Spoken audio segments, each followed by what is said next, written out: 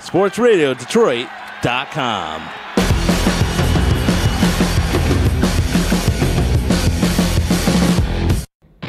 Let's go out and leave it all on the field. It's gonna start with us. We gotta make plays in order for us to win. All you gotta do is do your assignment, nothing more. Let's go. Playmakers on three. One, two, three. Playmakers. Matthew leans in, he's got it, wants to throw. Pressure comes up the screen, got it to Riddick. Riddick to 15, Riddick 10, Riddick 5, Riddick end zone!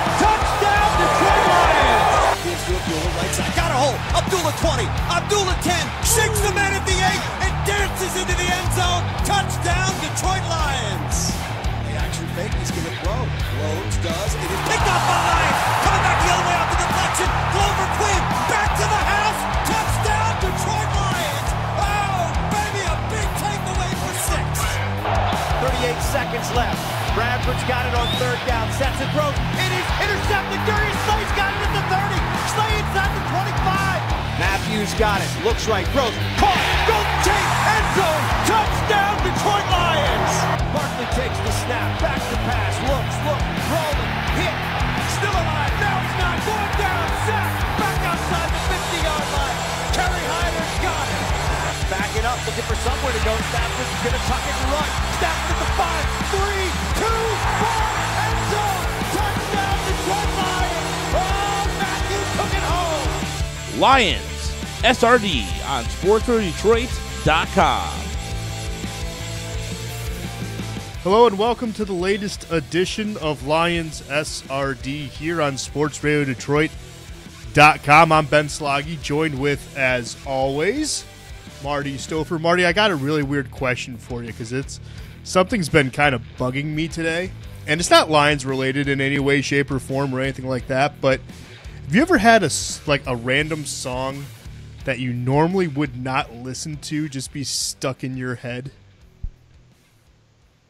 Yeah, all the time. I have two little girls, and you know they listen to pop music, and then they listen to, God forbid, I don't know why, but they listen to the Kidz Bop versions as well. So, yeah, it, it happens pretty frequently. So, like, what's one song that gets just randomly stuck in your head when you're driving in the car or, or something like that? Because I think you're gonna laugh at the one that uh, got stuck in my head today out of nowhere. They're real big into the Disney Descendants movies, Okay. and there's a song in the sec- there's a song in the second movie where the new character Uma sings. It's called "What's My Name," and that damn song will just get lodged in my brain for about an hour, and then finally it'll just it'll just fade away. But Oh. it gets lodged in there pretty often because they watch it all the time. You're lucky it's only lodged in there for an hour. So, okay, I, I'm at work, right? I'm just minding my own business. Then all of a sudden, I have Sia's chandelier just stuck in my head. And it's like, I, I, I it's inexplicable because I, I don't listen to music really all, all that much on the radio. I usually am listening to like news updates or you know sports updates or you know something. I'm usually trying to get in on current events or I'm, I'm listening to Radiolab. That's a good podcast that i listen to. I know i, I sound like a really fun guy. Anywho it's uh but like all of a sudden i'm just working and then you know working on my markets and you know getting emails out and everything like that getting corrections and all that good stuff. And then all of a sudden, yeah, chandelier just pops into my head. So I'm like, God dang. So I, I am. I'm flipping through like, you know, on, on YouTube, getting the song because of course now I have to hear it. I put it on repeat for a good solid 20 minutes, which probably made it worse. But man, oh man, I have no idea how it got in there because, as you know, I, I live alone and I don't really listen to that type of music when I do listen to music. I I listen to pretty much the same stuff you do, and Dave Matthews because that's my favorite band. But like, that's what I listen to, and it's just like all of a sudden chandelier just pops into my head. It's it is the most random, weird thing, and I'm going to segue this right back to Lions because this is Lions SRD on Sports Radio Detroit. Speaking of weird, who would have? Did you like anticipate that entire first quarter being the way it was? I mean, the Lions were getting straight out boat raced by an 0 and 8 team at home, and it was just one of the things where you're just like, dang, because there was a, there was a there was a stat that the Lions entering Sunday they were one and three at home. They're a better road team than they are a home team. So, you know, that kind of played into my head. But that first quarter was messed up, Marty. I mean, what what were your thoughts? Did you kind of want to abandon ship early, or were you just thinking to yourself, "Nah, they'll turn it around"? No, I, I kind of figured they'd turn it around, but it was it was a little frightening to see DeShone Kizer looking like Steve Young out there. I mean, he was just making plays with his feet. He he looked. I'm not going to say he looked great because he didn't, but he looked he looked more than a rookie quarterback. He looked good. He looked ready to go. He looked in command of that offense, mm-hmm. which I think the, the combination of DeShone Kizer, along with Duke Johnson, Crowell, and Josh Gordon, and um, I'm trying to think of the receiver that was just lighting us up. Oh, Kenny Britt. Yeah, Kenny Britt. They have a good core group of guys there. And Kenny Britt, while he's been inconsistent, when he's on, he's just as good as any receiver in the league. The thing with him has always been health and, and, and actually being on because he's he's wildly inconsistent. But he's a good veteran guy there to have him help steady the ship and, and right the ship. And plus, don't forget they're going to get Corey Coleman back soon too. Mm-hmm. So that that young that offense is going to be young and hopefully – and, and this is I, am a fan of football in general, so I, I, like to see I like to see the bottom feeders kind of rise to the top you know, over you know over time. I'd like to see that that group stay together and actually kind of develop into something special because I think they could be special. Yeah, no, I mean it was for me nothing short of just laughable and interesting at the same time. I mean that entire first quarter the Lions looked bad. I mean they looked awful. They couldn't get into a rhythm you know, Taylor Decker was still getting his feet wet, playing every other series. You know, the Lions weren't really doing anything. Anytime they tried to run the football, that didn't work. And you're right. DeShone Kizer looked unstoppable, just absolutely unstoppable. And, you know, even, I mean, the running game, I mean, you would think the Lions on third down would spy DeShone Kizer, and they didn't, and it paid. You know, it it paid dividends for Cleveland. I mean, he had seven carries, fifty-seven yards, and a touchdown, and he had a nice long run of twenty yards. Duke Johnson was more, you know, banging him out, you know, kind of running, and Isaiah Crowell looked really, really good for the first time in a while. So I mean, it was nice the Lions scored 17 unanswered points. You know, it was fortunate that Nevin Lawson got that uh, strip six just because he was badly beat on that route and on a last ditch effort, put his hand on the football, created a fumble, and was able to score with it. So that was fun. But yeah, I mean, it was just until Diggs hit Kizer, and he just got knocked out of the game, you know, for I think three series. It looked like Cleveland was going to climb back into this one and maybe steal one at Ford Field. And that's something that I, I, I wanted to talk about only because there's positives and negatives about that, right? I mean, obviously, the negatives are, you know, the Lions, even though it's unlikely, should in theory have maybe one or two losses in their final eight games and compete for the NFC North. That's the positives. That that's a positive.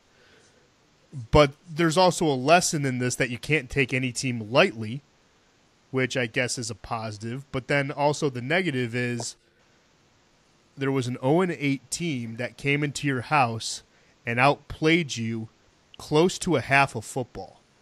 Which which side are you on? Uh, like, because for me, like seeing both sides, I think it was kind of good that the Lions got hit in the mouth a little bit, only because they know that they can't take anyone lightly going in, and you know Matthew Stafford last year or last week saying, "Well, we literally have to take this one game at a time because it helps us focus." What what's your mentality, you know, with just overall in that regard? I'm right there with you. Uh, I, I, actually kind of think they needed to get smacked in the mouth a little bit. I think this game was a, a much needed uh, much needed wake up call, for lack of a better term, for Jarrad Davis, who just looked flat out putrid in this game. And as a rookie, he's going to have games like that. It happens. It happens to veterans. But I mean, Jarrad Davis looked bad in this game, and it's it, it's that sucks to say because, like you, you know, I've said before in this podcast, I think he's a he's a franchise changing pick. I really do. I think he's that good. I think he's that special. But again, he's a rookie, and he just he looked lost. He looked he looked like Michael Roberts does when Michael Roberts takes the field on, on offense. Like he just looked like he had no clue what was going on, which is weird because I mean, even in Florida, he he didn't he didn't that never really happened with him in Florida. So it just it was it was a, it was a really weird game, and, and you know. Uh, they they put up 200 some rushing yards on, on the Lions, which was bizarre. So it was just, it was a really really strange game. But I, I kind of I'm kind of with you. I, I see both sides, and uh, you know I definitely think that's they, they took the Browns lightly, and they shouldn't have because the Browns are despite the win loss record they're actually not a terrible team. They just can't get it all going at once. Yeah, I mean to speak to that really quick, uh, forget I forget what Lions player it was. I think it was Glover Quin said that Cleveland is arguably one of the most talented teams, even though they're young, that the Lions had faced this year. And he said they have 25 really talented guys on that roster. And lo and behold, um, you know, someone in the Lions blogging community fact checked it and turned out to be the Browns were in top 10. I think they were eighth in the league in talent, just talent overall. So maybe there's some truth to that. Maybe there's not. But it's just it's something that's weird too because there was another stat that was kind of interesting that the last four teams that played the Lions were all playing the Lions from you know a bye week. The Lions were the first first opponents in a bye week. So, you know, you're talking the Packers, Browns, Steelers and Saints all getting the Lions immediately after a bye week. So that was interesting. That shouldn't that's not going to happen the rest of the way. But another thing just really quickly on the rest of the season Sunday also also didn't do the Lions any favor whatsoever. Minnesota still won and Green Bay still won. So Detroit not making up any ground in the NFC North is kind of frustrating in a way. Um, it, it, obviously you have the tiebreaker against the Packers, but it was just you know the Packers uh, Bears game was frustrating. There was that controversial challenge that John Fox did where one of his running backs was diving out of bounds and he was fumbling the football as he hits the pylon, which by rule is an automatic touchback. And granted, that would have been a um, a, t- a game tying touchdown for the Bears, but the Packers, you know, somehow still staying in it, still fighting. And the reason why that's scary is because if the Packers are still really close, like they were in 2013, four years ago, when Aaron Rodgers got hurt, if they're close to a division title, Aaron's going to do anything he can to get back on that field and steal another division title. And if you truly want to hang a banner in Ford Field that's not, hey, playoff appearances, woohoo, like an actual banner. That's got to be on the in the back of your mind, and that's why again I, I wanted to bring up, you know, why it possibly could have been good, but I don't know. It's just it's something that, you know, when when you're watching the game, it's just Jim Caldwell still making really weird decisions. You know that challenge on fourth down didn't really make any sense. The Browns still converted. Um, you know, it, it was just it was just baffling how this how flat this team came out against the Browns. And I don't, I don't know if it's in the back of your head, Marty, or anything like that, but there's also plus and minuses with Jim Caldwell. You know, obviously Caldwell is two and two in Green Bay. You know, not a lot of Lions coaches have done that. He's gotten the Lions to the playoffs more recently than any recent Lions head coach. You know, I mean, there's things that he does that are good, and then there's things that make you want to, you know, punch your TV. Do you still have any hesitation with the contract extension that the Lions signed, you know, apparently at the, you know, in the off season that they kept quiet or or not? Because for me, it was the way that first quarter went was totally inexcusable. I don't care how much ta- talent the Browns have; they're zero and eight. That game should not have been close.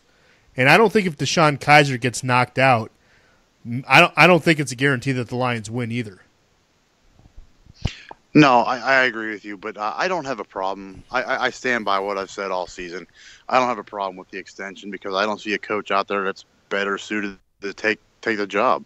I really don't. I mean, you know, I, I wanted Whisenhunt initially, but who knows how things would have went. I mean, he, he, we don't know what that guy would have done as a head coach in Detroit. Um, you know, I still feel like Caldwell's the booby prize, but if it's it, has been an all right booby prize because it's it's it's paid off pretty well. Uh, I don't see anybody out there that's just ready to to be a, a, head coach right now. I mean, that's that's just me. I mean, you never know. I mean, some, they might they might go into the college ranks and pull some guy from North Wyoming State or something that might be some kind of Bill Walsh second coming. You know, we, we don't know. But looking at the broad landscape, I just I don't see anybody out there. So I'm I'm okay with Caldwell getting the extension. I'm I'm kind of glad that you mentioned the college ranks. Did you see Sporting News is putting Jim Bob Cooter's name out there for a possible head coaching candidate at University of Tennessee? No, I didn't see that, but I'm not surprised. I mean, he's he's done an admirable job this season. Some of his play calling has been a little iffy, but I mean, that happens with, with all with all offensive coordinators. I mean, here in Pittsburgh, we have Todd Haley, and uh, you, I mean, you guys don't get to hear it, but this fan base, literally in the course of four plays, two plays they love him, two plays they hate him. So I mean, it's that's that's just that goes with the territory. Offensive coordinators get a lot of a, a lot of um, flack, but they also get a lot of credit at the same time. Mm-hmm. So I'm not surprised to see him, his name out there. I mean, it's I hope he doesn't go because staff seems to respond really well playing for Jim Bob Cooter. Uh, Cooter seems to bring out the best in him. So I, I don't I don't, I don't want to see him go, but at the same time, you know, if he goes, more power to him. And that's he, he's deserved the job. Yeah, see that that's where I'm I'm at with with it. As much flack as Jim Bob Cooter gets from a lot of people in this town, I mean, I know a lot of people were railing on him for the Steelers, right? In in that game. And they're like, Yeah, yep. why are you running the football so much? It's not working. The Steelers don't have a good run defense. You're supposed to attack weaknesses. He's trying to see if the if something will break, if something will give. Like you can see a little method to the madness there. And granted, yes, sometimes the scheme doesn't make sense, like not doing a pop pass to Jared Abbrederis or you know last week or anything like that. You know, yes, there's some issues with scheme, but you cannot say he hasn't helped Matt Stafford at all. I mean, he has. Stafford has cut down his interceptions. He's looked a lot better. You know, granted, with Scott Linehan, Stafford could just, it was an aerial circus. He could just wing it and sling it whenever he wanted to. But now with JBC, it seems like he can, you know, wing and sling it as he wants to, but it's more smart. It's more smartly done. And it's just I don't. I want to see what these guys can do. You know, I, have had doubts with Teryl Austin as, as defensive coordinator. He's actually seeming to get a lot out of this team, whether or not you you know want to admit that. I mean, the defense this year is turning over the football, getting points off turnovers. They're creating pressure. I mean, this defense in the first eight games played pretty well. So the offensive coordinator and defensive coordinator arguably you could say, you know, as Bob Quinn, maybe I give these guys raises in hopes that they stay. I know when people hear that, they're probably going to dry heave and be like, "Oh my god, I can't believe you just said that. You can do so much better." Maybe that's the case, sure, but the grass isn't always greener on the other side of that fence. Sometimes, just sometimes, you have to stick with what you have.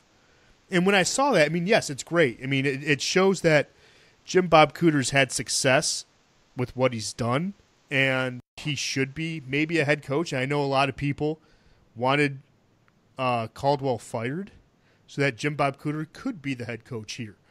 You know, I mean, a lot of people think that highly of him. He was a guy that, you know, worked with Peyton Manning and, and, and helped Peyton Manning be Peyton Manning. I mean, there's backstory there. And I think it would be a mistake if you let him go. I mean, again, yes, scheme can get better. And you can have growth and learn how to get better with your scheme. But I would be remiss if, if Cooter left. I mean, if he became the head coach at Tennessee, I'd be bummed about it. I, I, I really would. I think the Lions are onto something here because you can definitely see that the culture is changing under not only you know Mrs. Ford, but with Bob Quinn. I mean, you can see the culture is changing because I don't think I, I do think going back to how ugly this game was, an old Lions team would have easily folded. I mean, they would have. I mean, it, it would have been something where I don't think a Lions team would have the fortitude, which it, this sounds terrible, but I think they would have folded to an 0 8 Browns team and given them a win. And then, of course, people would be saying, "Ha, same old Lions. You guys suck. You choked away another one." Yeah, I, I'm with you. You know, um, Ben, you know this. I mean, every day I live in Pittsburgh. Every day I'm at work. I'm wearing something Detroit, whether it's a Tigers hat, whether it's a Lions hat, whatever. I've all, it's typically a hat because I have to wear a uniform, but I've always got silver and blue on. I've always got something Detroit on. And I, I mean, I take a lot of abuse because Pittsburgh is a very hardcore city for their Steelers. And you know, the the, the running joke uh, yesterday was, "Oh, you guys barely beat the Browns." Yeah, you guys barely beat the Colts this week with a team of backups. Like watching the Steelers and Colts game this week was like watching that movie The Replacements. Like it was all backups and guys that shouldn't be in the league that were actually starting. Like, and I'm like, your Steelers barely beat them. Like, so like, how are you going to give us guff about Cleveland? Yeah, Cleveland figuratively caught us with our pants down, but we pulled them up, buckled the belt, and went back to work. I mean, it was just it was a weird game, and it's just it, that's just the way football goes sometimes. And like I said, I, I don't want to see Cooter gone, but at the same time, if it's better for him, then more power to him. Well, I, I think it's funny that Cle- or Steeler fans were giving you flack because the Steelers and the Browns went down to like the last 30 seconds of that game until it was decided. So at, at, least the Lions had this one in hand, well in hand, you know, midway through the fourth quarter. But yeah, the Steelers have no room to talk. I mean, yes, they beat the Lions straight up, head to head, but I don't see how that fan base can give flack about a team not like you said. I mean, against the Colts, they looked bad, but against the Browns, they didn't look much better either. So right. I mean, I mean that, that right there, it to me that that's funny, but one thing I, I do want to give you kudos on, Marty, because you said this last week, and I will. Uh, well, I'll, I'll let the audio speak for itself. I hope it's this week because I want to see him. You know, like I said last week, even if it's on a pitch count, bring him in, just get him, get him acclimated, get him back in quote unquote game shape. Um, That's right. Our own Mar- Marty Stouffer looked into a crystal ball that is quote unquote his brain, and actually knew what the Lions were going to do with Taylor Decker. We, I mean, we knew Decker was coming back. There was, I mean, there were so many signs in the tea leaves. If you know you didn't want to read them, that's just your fault. But yeah, Taylor Decker came back, and he was rotated, and he played still sixty nine percent of the uh, percent of the snaps. But Marty, you said it was going to be a pitch count. Lions put him on a pitch count. He only got beat a couple of times by Myles Garrett. Um, you know, gave up a quarterback hit, but I don't think he gave up a sack. Got to give you kudos, man. You were you were Johnny on the spot there. Well, thank you. I appreciate that. But I mean, it's it's it's kind of what they had to do. I mean, Mihalik wasn't. I mean, Mihalik was serviceable, but he's not. He's not your franchise left tackle. He's not your anchor. He's not your. He's not the guy that's protecting Stafford's back. He's not the guy that's going to get you know, a big contract as as that guy, which I think Decker will do in what two more seasons. I think his contract's four years, but uh, you know, it, it's just common sense. You don't want to come out there and you don't want to put him out there in the first game and have him playing every snap when he's been out for how long, you know? Mm-hmm. So it was just the pitch count was like the only thing that made sense. So I mean, it was it was good to see, and Decker looked sharp. He did. I mean, you know, sure he gave up well, he gave up one quarterback hit and a couple hurries, but I mean, I'll take that any day over having you know Greg Robinson out there flailing around like a fish. Yeah, and Corey Robinson was actually in at right guard, filling in for TJ Lang, who was in concussion protocol. There hasn't been an injury report yet because, lo and behold, we're not recording this on a Wednesday, so it doesn't have to come out yet. But Corey Robinson did a after you know a couple of shaky first series, and he hasn't played guard since high school. He looked really, really good. I mean, this is still a team that is working with a patchwork offense and they're still getting you know the job done. And the thing that was interesting, because Marty, you again pointed this out last week, the Browns only gave up an average of two point nine yards a carry, and Detroit did a lot better than that. I mean, their running game was really, really good.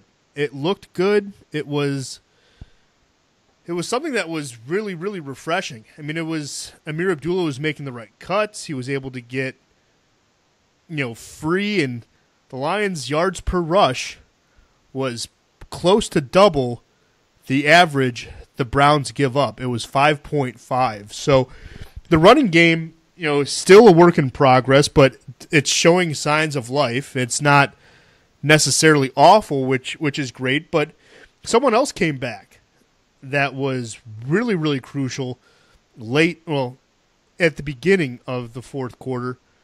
Kenny Golladay made two big, big catches down the sideline to get the Lions offense moving and, you know, not stalling. And Golladay came up big, and it was nice to see him in.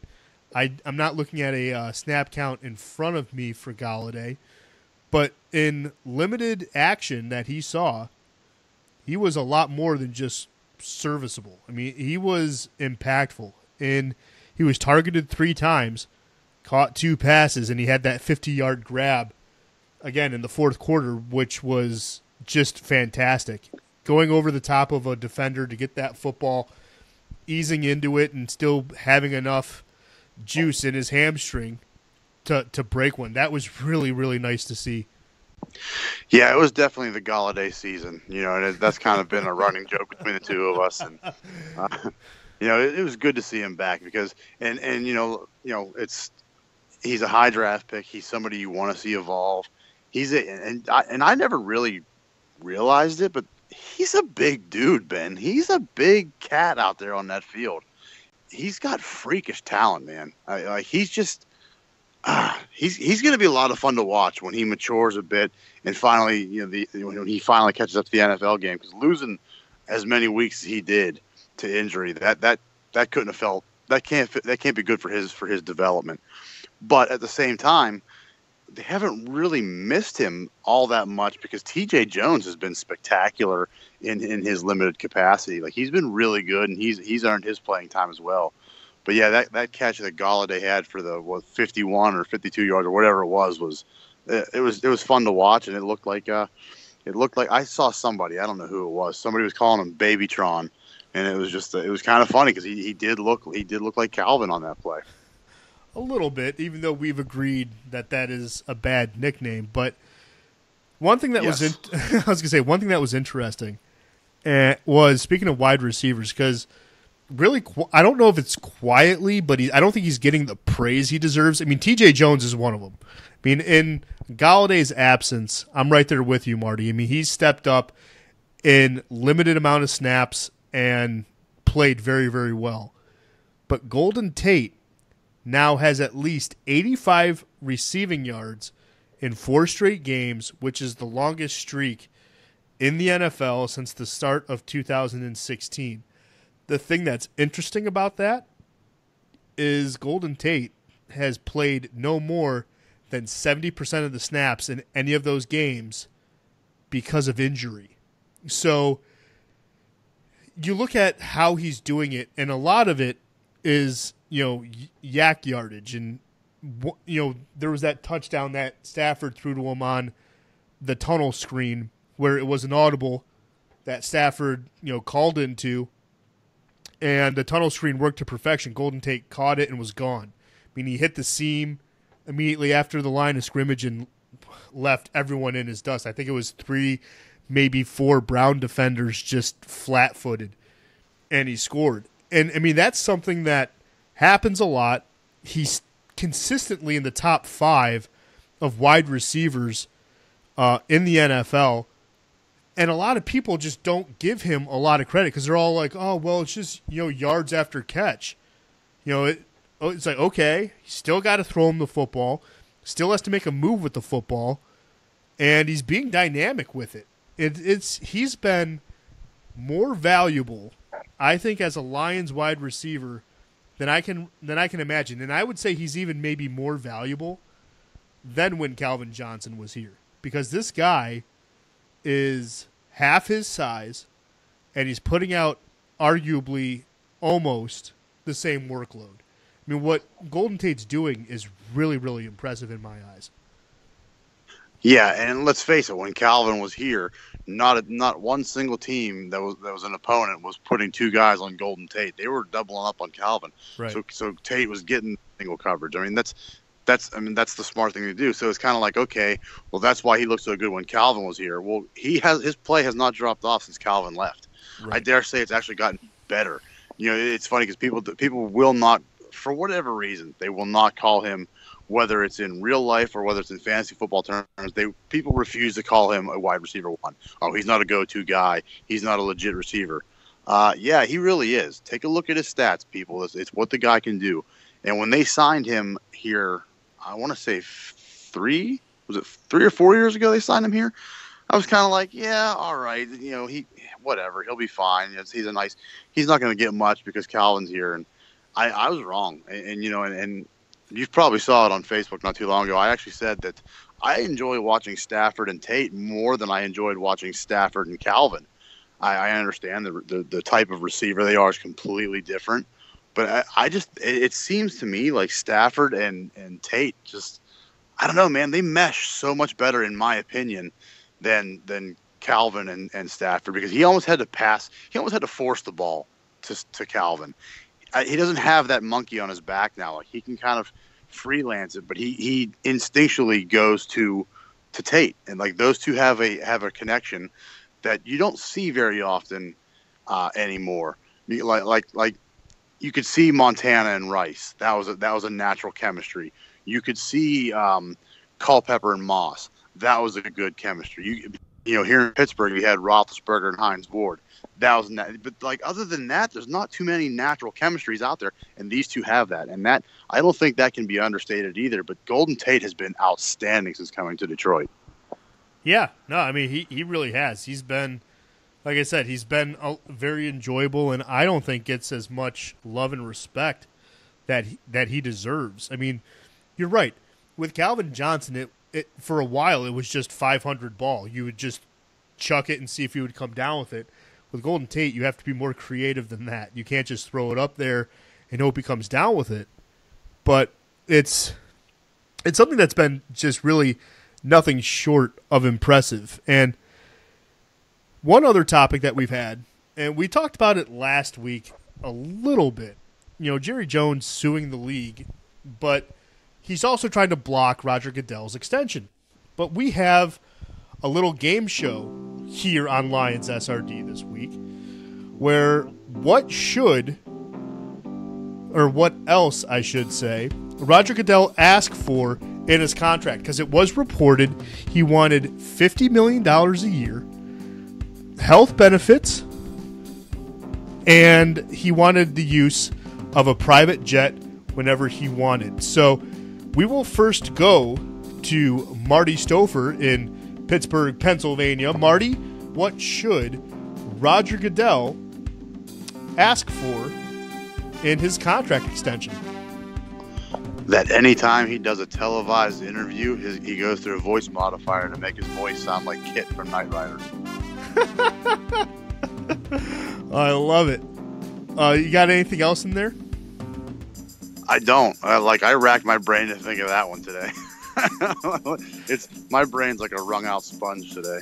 No worries. Here's a couple of things that I thought of: a lifetime supply of Papa John's pizza, a one-hour look at the unredacted JFK files, slightly used concert T-shirts from 1973 a statue in Canton made in silver plating, the same silver as the Lombardi Trophy, which he also would then get to rename the Commissioner Roger Goodell NFL Championship. So, those are just a couple of things that he asked for in his extension. If you have any of those you want to add to the list, feel free to tweet at Sports Radio DET with the hashtag LionsSRD, and we will retweet those um, things you come up with. Those are just a couple of just to get the pot going, and you can join the hottest game show sweeping the country. What should Roger Goodell ask for in his contract extension? Because I, I mean, it's something that it's. I think it's inevitable, inevitable that it's going to happen. I just think Jerry Jones is still being extremely petty, considering this is just about one player. I don't care how anyone slices it. It's literally just about Zeke Elliott not being able to play, which I think is extremely two faced because, as I said on the SRD Roadshow on Saturdays from 9 to 11 on CRB Radio, if you want to catch that live on demand here on sportsradiodetroit.com. But this is the same guy who, amid the Ray Rice scandal, signed Greg Hardy, a guy who beat and choked his girlfriend and then threw her down on a bed of guns and still signed him to be a Dallas Cowboy without batting an eye. So you want to sue the league just because Zeke Elliott can't play, I think is the most petty thing and two faced thing you could ever do as an owner. And there's even been talks that the other NFL owners, if he goes through a lawsuit with the league, I thought this was amazing because it was uh, Pro Football Talk and Mike Florio that reported this. The other 31 owners in the league, if he tries to sue the league, they're going to try to get, have they're going to fight back allegedly and basically strip Jerry Jones of the Dallas Cowboys. They basically wouldn't he wouldn't be allowed to own the Dallas Cowboys anymore, which I kind of now want to see this go into the courts because that would be insanely ish- interesting. I don't think that will ever happen, but I thought that was something that was interesting. One interesting news bit uh, that came out today mentioned Jared Abbrederis. He's no longer a Lion. He's been waived. Jace Billingsley and George Johnson are now Lions. The Lions waived another player as well to make room for those two. But Marty, I know you really liked the Jared Abbrederis uh, signing way back in the offseason when it first started. I think it was all the way back in April, maybe May after the draft. And they took a shot on a guy, and he, he wasn't bad. I mean, in the preseason, he was good. He actually worked his way onto the main roster, still was serviceable, never was really thrown the football much or used much, but he still held a spot, still held his own. What were your, what's your thoughts of Abbrederis leaving? Yeah, I'm I'm bummed. I, I hate it. Uh, it's nothing against Jace Billingsley, but I'd rather have a guy who's a proven player who can who can block downfield. He can do all the things that Abbrederis was able to do, as opposed to oh hey let's resign a guy that captures Detroit's hearts for a couple weeks. I, I don't care about Jace Billingsley. I, I don't. I, I I'm a big Abbrederis guy. I remember him um, having a you know a nice year or two, whatever it was, with with Rodgers. Now keep in mind, he had a nice year or two with Aaron Rodgers as quarterback when he was like the fourth or fifth string receiver in Green Bay. So I mean, those numbers you translate those to uh, to a team where he's actually getting playing time. It's going to expand. His numbers are going to look better than they, than they did then too. But I like what he was able to bring. He's a really, really good downfield blocker. He's smart. He's a crisp route runner.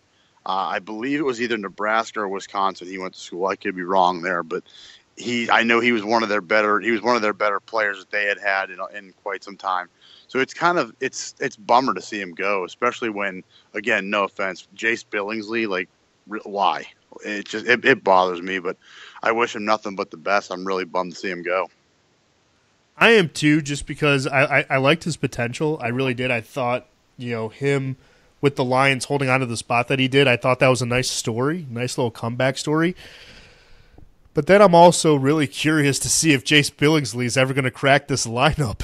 I mean, I, I really am. I mean, you get he's one of those guys that gets dangled in front of you like the carrot, you know, in front of a a horse that gets the wagon going. In every preseason game, you see this guy making plays. Granted, yes, it's against third and fourth string guys, never really against second or first string guys. But the carrot's still out there. You're like, man, I wonder, you know, I I wonder if Jace Billingsley has it in him to be a good slot receiver.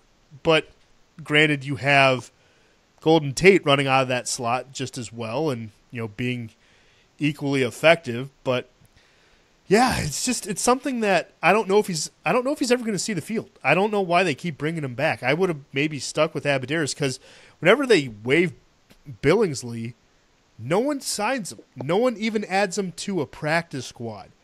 He's he's out there and then he's just dangling. So if you really wanted to, you could maybe wait until the end of the season, but I mean it's a moot point now, obviously, because he's gone. I mean Abbrederis is gone and he's here. So something that's really interesting, really quick, there's a odds chart to make the NFC playoffs.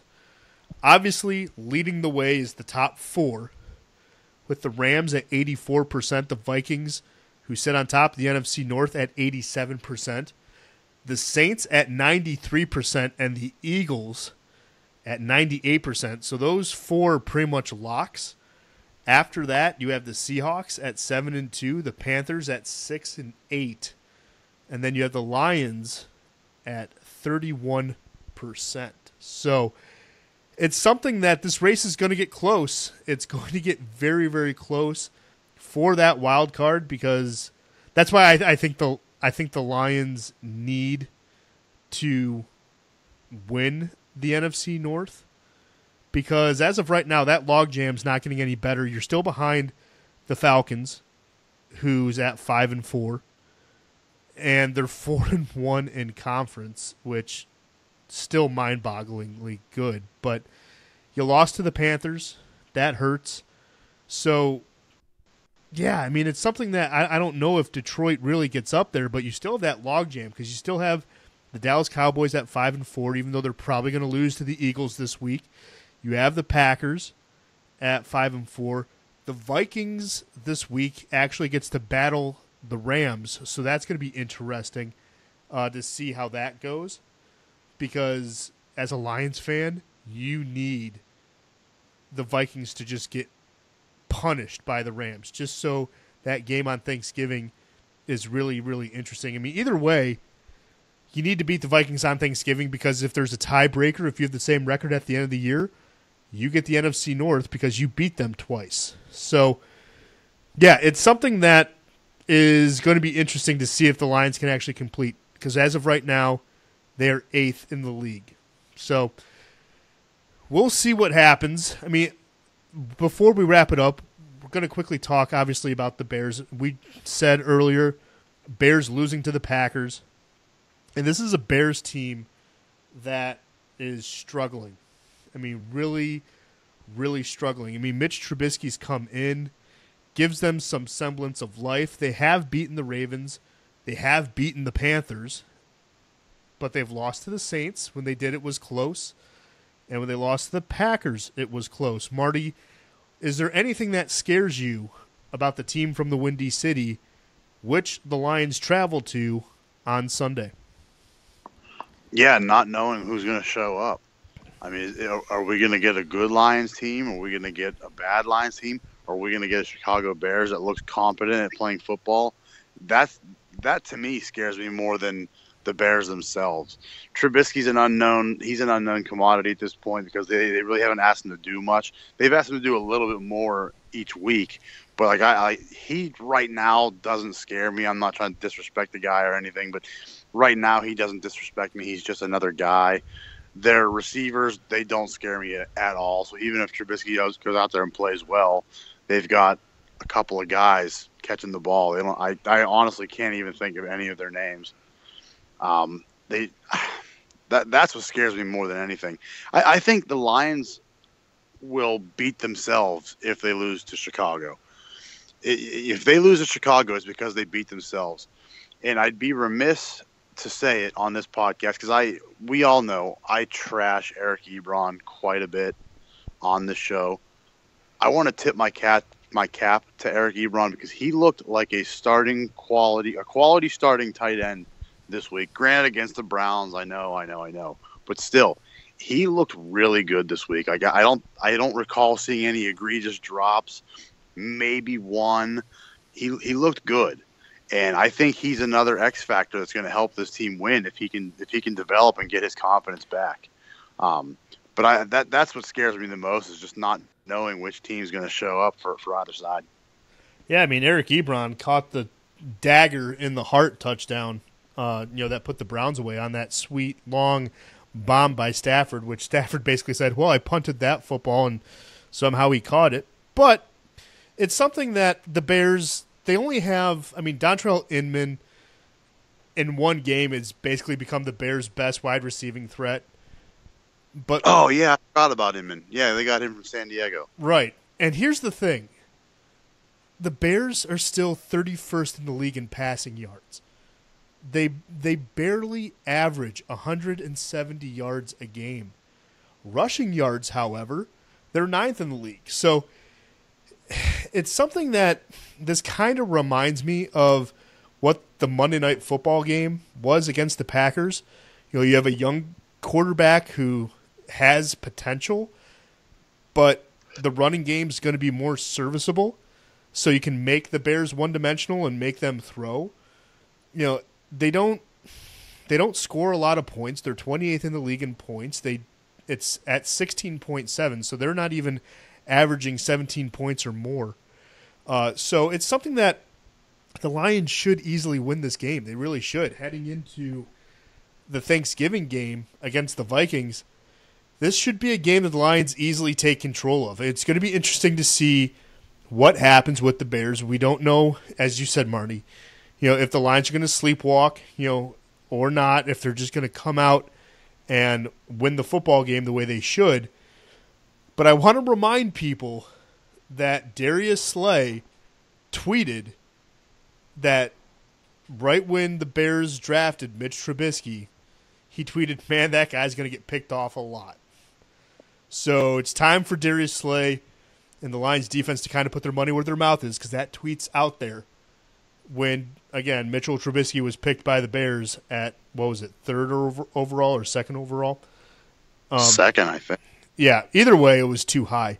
But time to time to have that rubber meet the road. But we will talk about it. We will talk about it before Thanksgiving, and then we will talk about the Thanksgiving game after Thanksgiving, probably on that Saturday or Sunday. But we will talk about it. There will be probably two podcasts next week, and I think that's all the time that we have for uh, this week. Unless you have anything to add, Marty. Uh, just one little thing that I thought was kind of interesting. Uh, it's, it's a little Minnesota Vikings news. Uh, unless it's happened since since before we started recording, uh, Zimmer has not announced a starting quarterback yet. Um, he I, apparently is considering starting Bridgewater. I don't know if I'd go that route as much of a Teddy Bridgewater fan as I am. Keenum's looked good. He's looked really strong against uh, uh, you know against the opposition this year. He's looked he's looked pretty good. And I don't know if I want Teddy's first start coming against the Rams if I'm Mike Zimmer, but you know, as of right now, as of Tuesday at 8:30 or whatever it is, they they have not announced a starter yet. So it's it's kind of interesting to see what's going on up there in Minneapolis. Well, I hope to God Mike Zimmer botches this quarterback call because that's I want the Lions to get all the help that they can, you know, that they can get to overtake the Vikings. Because until the Packers start losing and and whatnot, if the Vikings can get in their own head, that only helps Detroit. So either way, you know, Bridgewater, I don't think he's going to. I mean, he's going to be rusty. So, and I don't think you start him on a short week in Detroit. Which, if that doesn't happen, that works. I think in the Lions' favor because they already, you know, they already faced Case Keenum uh, and the Vikings. So I think that does help on Thanksgiving on a short week because you really can't do anything. You can't really game plan. You can't install anything. It's just a familiar opponent, which I also think helps.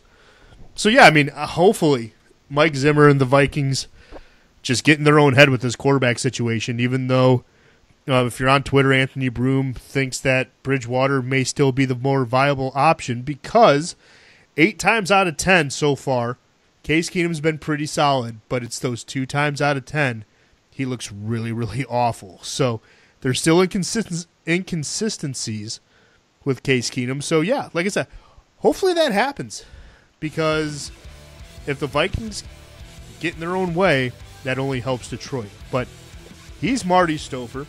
I'm Ben Salagi. What do we say, Marty? And we say good night. Good night.